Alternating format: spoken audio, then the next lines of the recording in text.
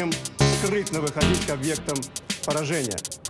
Специально создаваемая для этого оружия система наведения даст возможность подводным аппаратам осуществлять автономный выход к цели и поражать ее с высокой точностью. Такая подводка становится невидимой для всех средств вооружения, которые находятся на вооружении потенциального противовоенному оружию, может дать каждый житель страны. На официальном сайте военного ведомства объявлен специальный конкурс. Так своего имени ждет крылатая ракета неограниченной дальности, беспилотный подводный аппарат, а также боевой лазерный комплекс. Евгений Нипот,